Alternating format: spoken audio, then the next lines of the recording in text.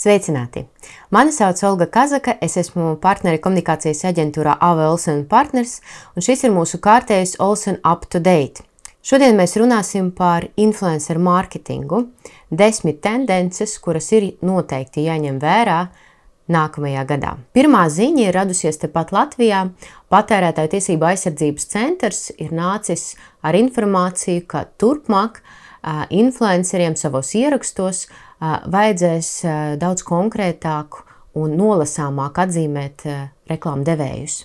Tas nozīmē, ka pirmām kārtām hashtag sadarbība vairs neder, hashtagiem jābūt daudz konkrētākiem, sponsorēts, reklāma, apmaksāta reklāma, un tas pats arī angliski, vai arī tehniski izmantojot Instagram iespēju sponsored by. Tas, protams, viss ir saistīts ar to, ka influencer mārketinga tirgus attīstās un jau kļuvis par industriju, tur apgrozās diezgan nopietni budžeti, cilvēki uzticās influenceriem un līdz šim izmantots hashtag sadarbība īstenībā nenodot būtību. Un, nesen veikta arī aptauja, kur noskaidroja, ka 55% lietotāju pat nemaz nenojauš, ka aiz hashtag sadarbība stāv reklāmas budžets. Tātad turpmāk influenceru ierakstos vajadzēs ļoti konkrēti norādīt gan pašu faktu, ka tas ir apmaksāts saturs, gan arī skaidri definēt, kas ir reklāmdevējs. Otra tendence saistīta ar to, ka mums kopumā ir jāmaina savi priekšstati par to, kā mēs reklamējamies Instagram. Jābeidz to darīt tā, kā mēs to darām televīzijā. No vienas puses tas nozīmē, ka mēs no tādas klājas reklamēšanas pāriesim uz uh, pie jautājuma par to, kādu pievienoto vērtību mēs varam nodot caur mūsu saturu lietotājiem. No otras puses, mēs daudz stingrāk arī paši skatīsimies, kas ir tie influenceri, kurus mēs izvēlamies sadarbībai ar zīmoliem. Parādīsies arī tāda papildu izvēles kritērija, kā cik ētiski komunicē influenceris, cik cik daudz viņš arī pārbauda faktus, kurus tālāk nodod savai auditorijai, cik viņš ir godīgs pret saviem sekotājiem un reklāmdevējiem. Skaidrs ir tas, ka tā kā influencer mārketings tiešām kļūst par industriju, tad arī spēles noteikumi kļūs arvien stingrāki. Trešais.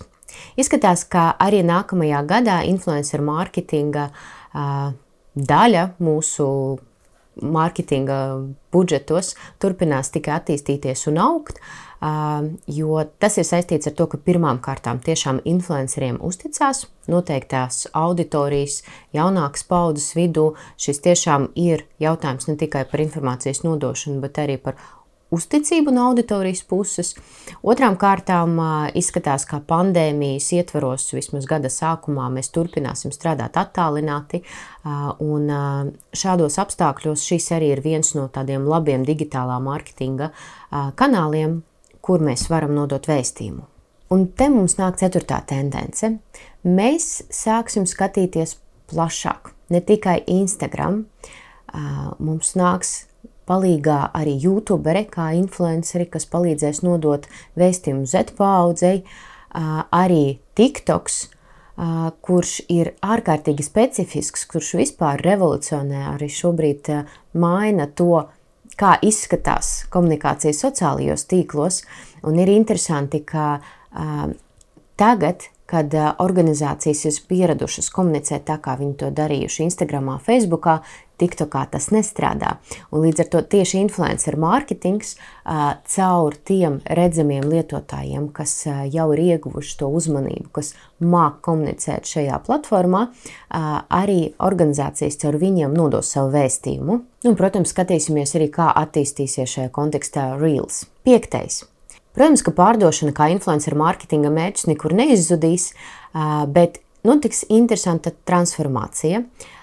Jo arvien vairāk mēs pāriesim uz performance marketing, kur par rezultātu tiks vērtēts nevis ierakstu skaits vai sasniegta auditorija, bet pārdošanas rezultāti.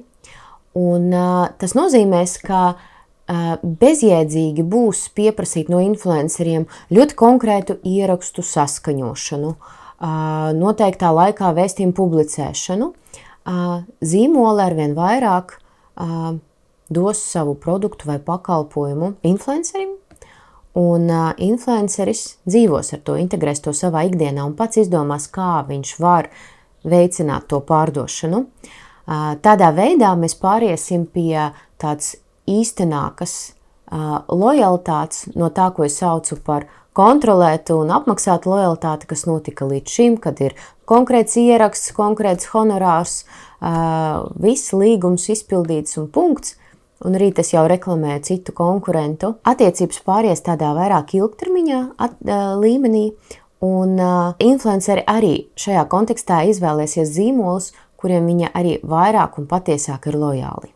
Sestais. Izskatās, ka nano mikroinfluenceri nekur uh, nepazudīs, un zīmoli joprojām ar lielu interesi ar viņiem sadarbosies, uh, bet viņiem pievienosies vēl viens ļoti interesants un svarīgs bloks - ierindas darbinieki un klienti, uh, kuri tiešām var kļūt par ļoti vērtīgu viedokļu līderu un influenceri savās kopienās un nodot organizācijas vēstījumus. Septītā tendence ir tā, kurai es ļoti gaidu. Es ļoti gaidu, ka nākamgad Latvijā parādīsies specializētu influenceru grupa, kas komunicēs ne tikai par dzīves stilu, par turismu, par skaistumu un modi, bet iespējams tie būs ārsti, iespējams tie būs juristi, iespējams tie būs finansisti un būvnieki, kuriem ir izglītība, zināšanas, ekspertīze un kuri caur sociālajiem tīkliem varēs nodot arī šos vēstījumus.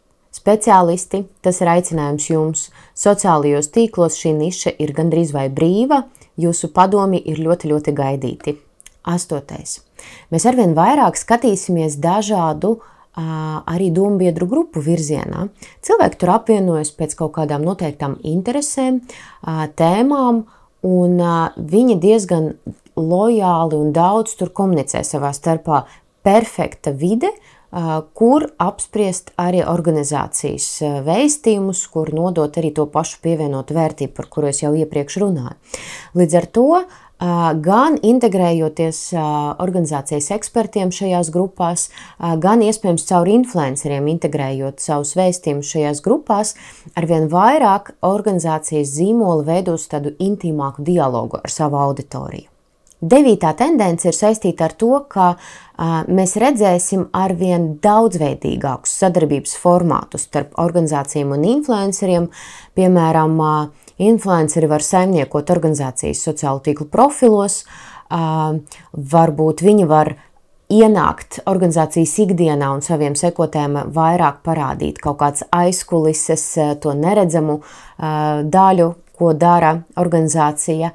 Noteikti būs arī daudz live video, dažādu video formātu satura un daudz arī citu. Un tas galvenais, kas ir mūsu uzdevums, tiešām arī meklēt tos jaunus formātus, kā mēs varam advancētāk un ar to pievienot vērtību arī nodot mūsu vēstījumus sekotājiem. Un desmitā tendence ir saistīta ar to, ka tomēr influencer mārketings ir daļa no mūsu strateģiskās komunikācijas. Tā nav nekāda panacēja. Tas nav vienīgais veids, kā mēs varam uzrunāt mūsu auditoriju. Galu galā tas ir tāds ļoti konkrēts veids, kā uzrunāt noteikta vecuma un dzīves stila auditoriju.